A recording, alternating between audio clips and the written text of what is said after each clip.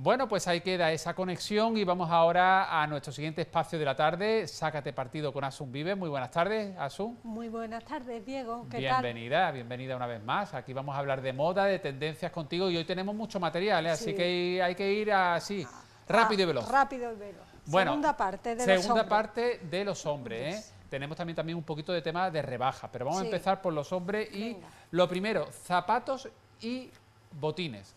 Vamos a ver. Vamos a ver. Vamos a ver y lo comentamos, porque ella nos pasa mucho material y luego ella ya aquí va matizando y va diciendo, pues mira, esto es tendencia por esto. Yo recomiendo que esto, bueno, esto no es para hombre, esto es para mujer. Aunque si un hombre se lo quiere poner, pues oye, eh, la libertad eh, ante libre, todo. Libre, libre de ponérselo. Hoy misceláneo, espacio misceláneo, sí, que queda sí, muy lo bien. Vamos a hacer Hombres, mujeres y rebaja. vamos allá, botines. Venga, botines. Esto fue en diciembre cuando llegaron las marcadas fiestas, Navidades, Nochevieja, lo que más encontré en la franquicia malagueña son zapatos con, con brillos. Bueno, muy propio también para una gala de noche, no solo para Nochevieja o Nochebuena, sino también para una gala, para para ir a bailar, para lo que quieras. Perfecto. Vamos al siguiente, a la siguiente imagen y vamos aquí pues puntualizando bolsos.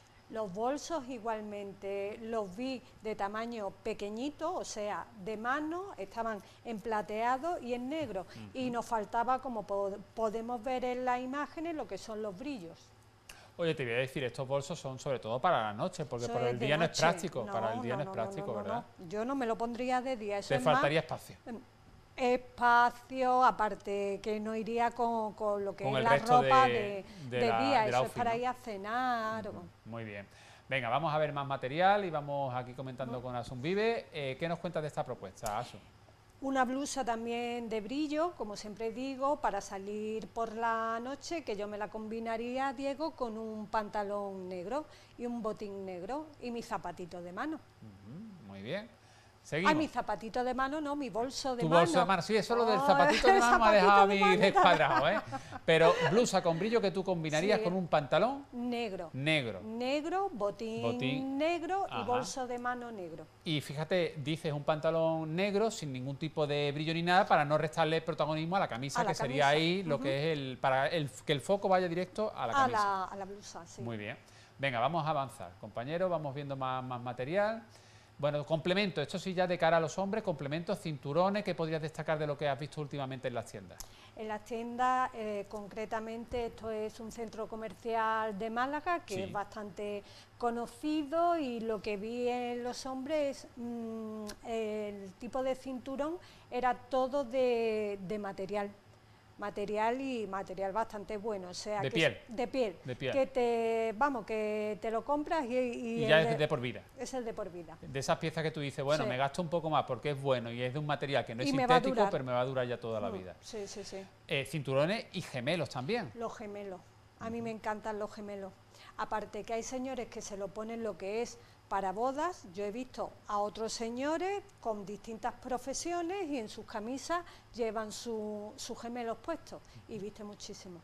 Y de los gemelos que tú apuestas por ese complemento también para la camisa para los hombres, vamos a corbatas. Las corbatas. ¿A ti cómo te gustan las corbatas? Eh, ¿Corbatas lisas, eh, con motivos, eh, muy llamativas, más bien en tonos así más pálidos. A mí me gusta lo que son las corbatas lisas o con alguna decoración como la que vemos Motivos pequeñitos, ¿no? Sí, motivos, pequeñitos. Y dependiendo también al lugar o al evento donde, donde acuda. Estas son, a ver, eh, tiene, es verdad que si te fijas, tienen motivos así pequeñitos algunas, otras son lisas, mm. pero sí es verdad que son de unos colores muy fuertes, e intensos. Sí, sí, sí, sí. A mí me gustan estas corbatas. Sí y además la colocación que tiene te van diciendo qué camisa le puedes ir metiendo. Además muy ordenada por gama de colores y eso, mm. tonalidades. Bueno, de las corbatas pasamos a... Esto nos da una idea de lo que podemos ver estos días en las tiendas de Málaga, en, las tiendas de moda. Bueno, sombreros, boinas... Sombreros, boinas, gorros de lana tenéis de todos los hombres para complementaros. La boina eh, está asociada a un perfil de, hombre, quizás pues más del interior, de una determinada edad, pero esto ya esto es del pasado. Ya la boina bueno, un chico súper actual puede llevar boina. Sí, incluso las mujeres, yo tengo boina, yo tengo boina y, las combino y a mí me gustan. No es solo de un chico que sea de, interior o el, típico agricultor que sale con, la boina. Eso ya no ha cambiado mucho. Ha cambiado mucho. ¿Y cómo combinarías tú, por ejemplo, una, una boina? Yo con mis vaqueros, eh, con una blusa, mi botín que no me puede faltar, mi boina y una americana. Oye, y por ejemplo, ¿un presentador presentar con boina lo verías o no? No, en espacio cerrado te la quitaba, yo te la quitaba. Eso como presentar con gafas de sol. Ahí estamos, nos vamos. ¿Y un realizador, por ejemplo, con boina? Hombre, si está detrás de la cámara como está Que se ponga lo que quiera, ¿no? Que se puede poner lo que quiera. bueno, Dejamos eh, territorio boina, veo de distintos colores, también de cuadrito. Mira, la de cuadrito tiene ahí su puntillo. Sí.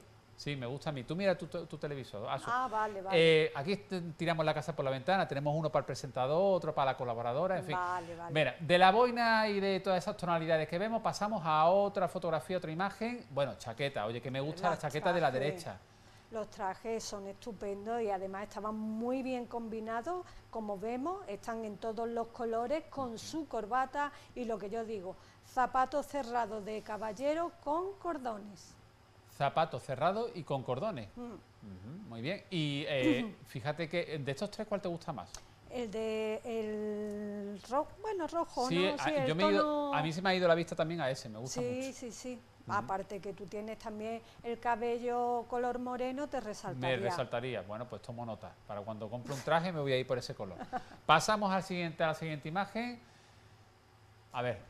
Eso es una chaqueta que encontré de hombre en una franquicia malagueña y estaba puesto para Nochevieja, pero es como hemos dicho anteriormente. Para una gala, para un para estreno. Una gala, para ir a cenar, un estreno y va es distinto, es distinto a lo que podemos ver. Es un toque un poquito más eh, moderno, eh, ¿verdad? Porque incluso yo creo que eh, aquí este tipo de propuestas no invita a ponerle, por ejemplo, una corbata. Yo no le pondría una corbata. No, no, no, no.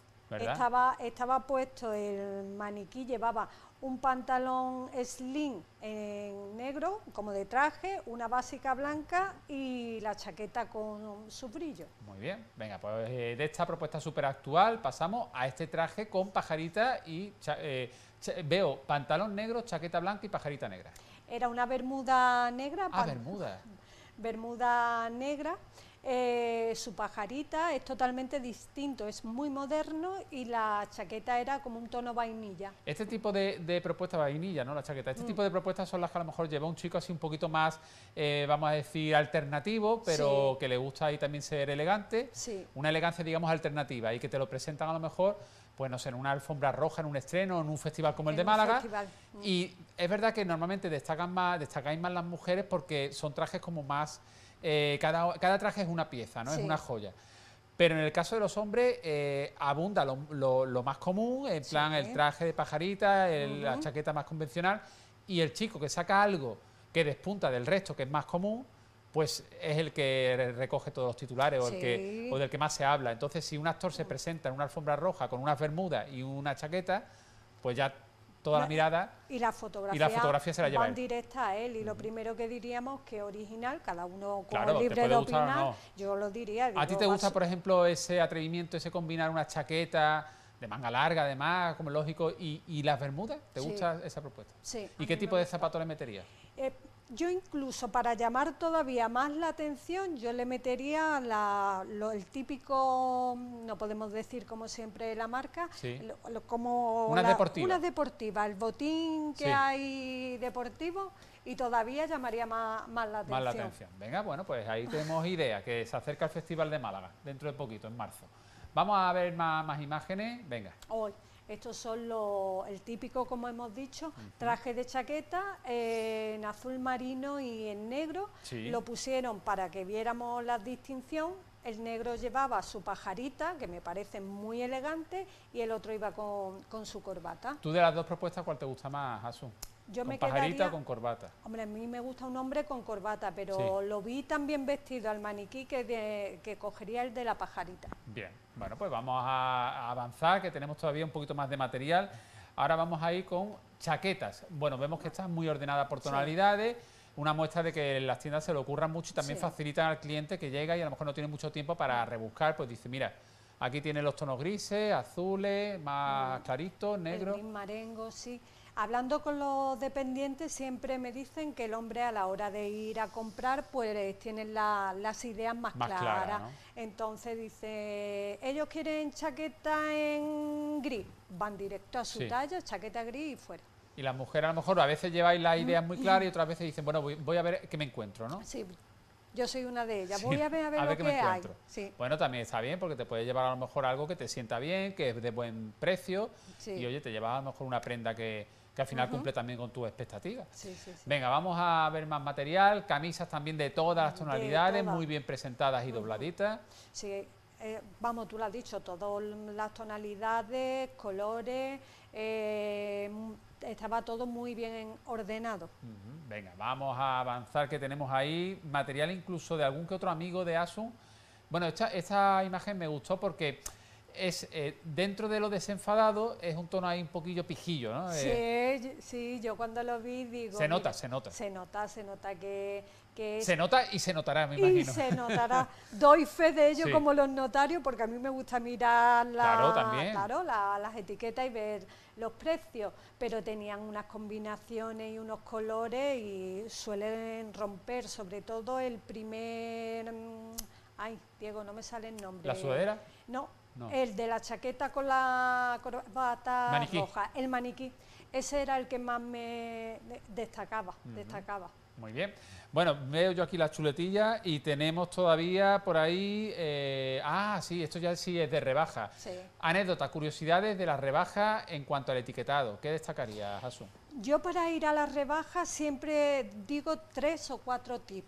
Primero, que esté marcado bien lo que es el 50%, que hay en mucha, muchísima, muchísima ropa que no está marcada al 50%. O sea, tú te refieres que aquellos comercios que en el escaparate tienen el reclamo del 50, de hasta el 50%, que cuando uno entre esté identificado bien y claro qué es lo que está al 50%. Efectivamente. O sea que si una prenda vale 50, tendría que costar en rebajas 25. Claro. Y muchas veces no está marcado así. Otro tip que doy es eh, que no tengan tara y que no sean ropa de otra, de otra temporada para que, vamos, ahí lo, lo estamos viendo. Es más, me fijé en una franquicia malagueña, en un traje rosa, digo, bueno, vendré a por el traje rosa ahora en, rebaja, lo habían quitado, he ido ahora que están poniendo ya lo que es temporada nueva, y estaba puesto otra vez el traje rosa, pero sin rebaja. Ah, amigo. Porque quitan y ponen. Y lo mm. sé porque he trabajado en tiendas de, de moda. De moda. Oye, eh, lo que sí, las asociaciones de consumidores han destacado este año que especialmente las rebajas han sido unas rebajas muy, vamos a decir, light, muy suavitas, que tampoco se han notado tantos descuentos.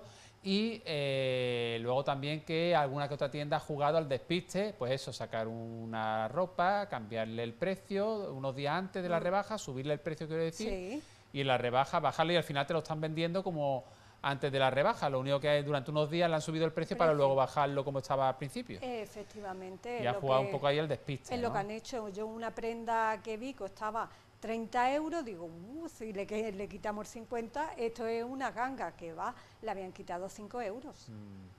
Bueno, pues eh, Asun, te vas a quedar con nosotros porque ahora tenemos el espacio de actualidad, eh, eh, pero vamos a ir antes con un consejo para nuestros espectadores, ¿vale? Venga, te quedas con nosotros para el espacio de actualidad y vamos